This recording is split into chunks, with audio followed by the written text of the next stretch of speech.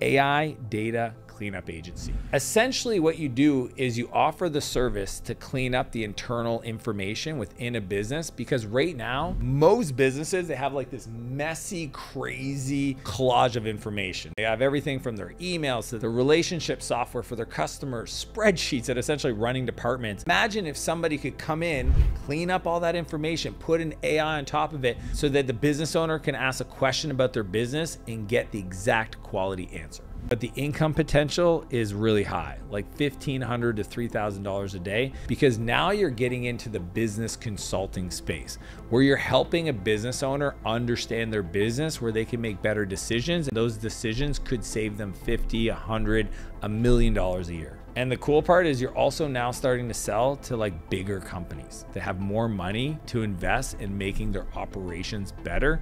And you are the expert. You might think everybody knows AI right now. Trust me, they don't. And if they do, their number one bottleneck is having anybody on their team that knows how to do this stuff and they're willing to pay top dollar for that. And again, to be successful, run through the four step process in the AI startup ladder so that you get paid upfront before you build anything. This one, I'm personally biased, but I think it's the biggest opportunity the next decade to unlock people's productivity and make a ton of money.